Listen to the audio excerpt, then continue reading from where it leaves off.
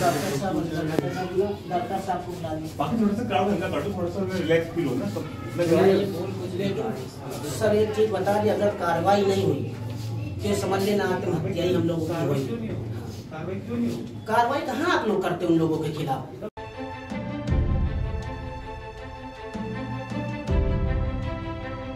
यूँ तो मेरा भाई जो है गाड़ी से आ रहे थे रास्ते में वहाँ पे शेरा तौफीक राजा टुंडा फरहान ये सब मिल के मेरे भाइयों को मारा है और बहुत बुरी तरीके से लहूलुहान कर दिया है और धमकी दे गए हैं कि आगे भी करा कार्रवाई करी तो किस बात किस मामले पे मारा? क्या पहले से पहले कोई बात आती हुई पहले से हमारी इसकी कोई बात नहीं थी। ज़बरदस्ती इसने हम लोगों को मारा है क्योंकि ये लोग जो है